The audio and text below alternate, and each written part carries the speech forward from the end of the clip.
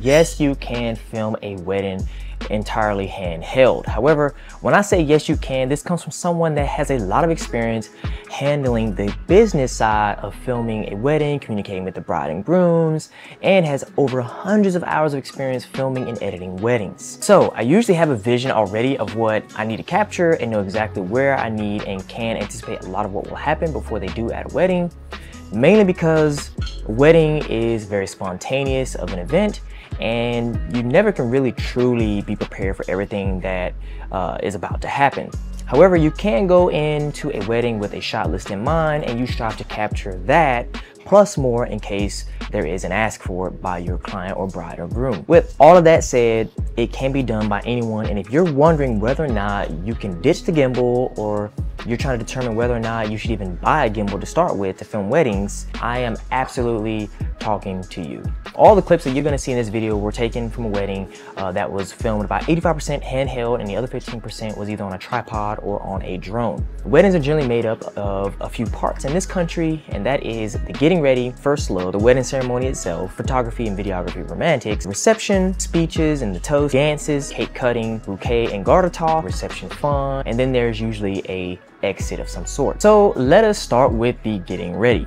Getting ready is probably one of the most challenging parts to film as you're walking into a small room with complete strangers, with the exception of the bride, and you are expected to film the makeup artist, bride, the bridesmaids, mom and the bride, the wedding planner, hairstylist. So that usually comes with a lot of pressure on the videographer and there are a lot of eyes on you and what you're doing because you just came in here and interrupted all of that. Also applies to the groomsmen as well too, but usually there is a lot less vendors and folks involved and usually the guys don't have as much stress on them to get ready. My biggest recommendation for you going into this situation handheld would be to keep it simple. Remember, each shot is not the entire wedding video, it's just a small piece of the puzzle not the whole puzzle.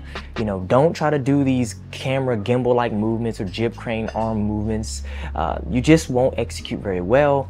Uh, because you just don't have the right tool to do those type of movements. So this wouldn't be the time to try something new, but instead take this time to keep it simple and warm up to the bride, groom, and the wedding party while doing your best to stay as stable as possible. Do your best at its best. Now on to the first look. The first look is pretty standard of course, you will either be using two cameras or one camera. Now if you're using just one camera, I recommend throwing your only camera on a tripod and face them from a side view as best as possible. The reason being is because the first look usually is extremely emotional and it gets really really intimate quick and it's usually where the ice is broken between you and the bridal party and also the bride and the groom most importantly.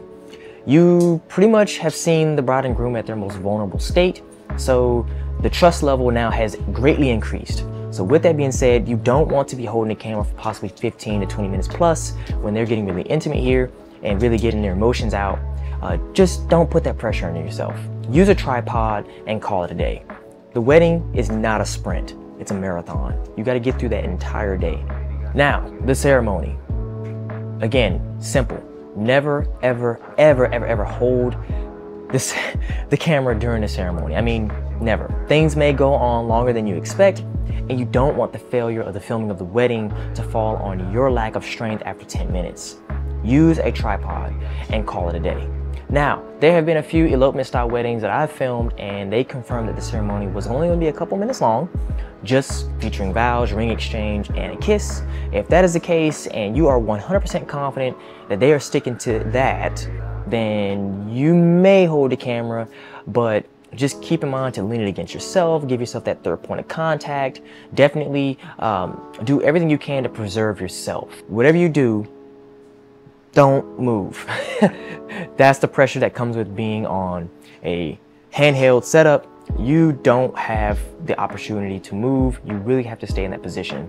So whatever position that you start recording in, that is a position that you need to finish recording in. Now photography in the video segment. This is usually after the ceremony where they'll usually take some photos and you'll have a small opportunity to get some really cinematic footage and have a very small creative control space in this moment as well. This is where you can pretty much do some cool things with your camera now. Like in your hand, you can do some experimental stuff if you want even, you know, uh, you know, like for example, uh, raising it up for a kiss and keeping it really low or do some type of veil thing or running or chasing after the bride or whatever just whatever you do, just make sure that you have practiced all this stuff beforehand. Make sure you've practiced doing it, but also communicating what you want. That's usually the main struggle for some videographers is that talking to the bride and groom and trying to explain what they want, they haven't actually said it out loud before. They've never actually had to communicate it to somebody. So practice talking to someone else before you go to a wedding and struggle to explain this idea you have, maybe with a friend, your own mate, or any other kids that you may have as well in your nearby vicinity. You may wish to capture some behind the scenes of the photographer doing some things uh, with the couple. This is a great opportunity to do some panning type simple shots. Remember, you don't have a gimbal and so you know you want to do these crazy pans but keep everything really nice and slow like super super slow this is also a great time to do like cutaway type things with trees, poles, and other objects in the foreground. Just keep in mind that your hands and your body are engaged with the camera and you have multiple points of contact with uh, practice and repetition and experience, you will succeed. For the reception, cake cutting, and the speech, I'm gonna clump all of these into one category. Since these moments already have a lot of movement, you don't really need to have a lot of movement in your shots. You just need to have a lot of different types of shots. Uh, you can get a lot of short takes of people laughing, talking, mingling together. You know, you need to keep the camera as still as possible in these moments as the audience isn't really caring about how cool this follow shot was of you following somebody walking up to someone and then giving them a hug and rotating around them.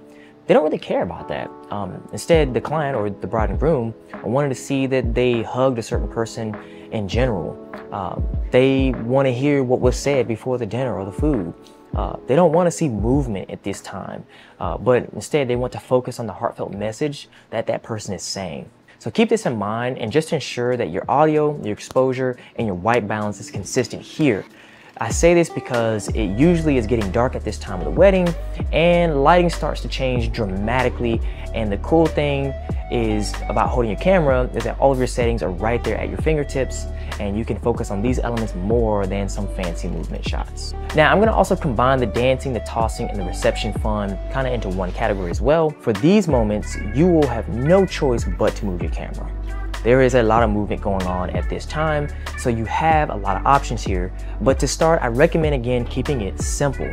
Just track the people of focus here and simply just follow the dancing as it happens. Do not walk if you can.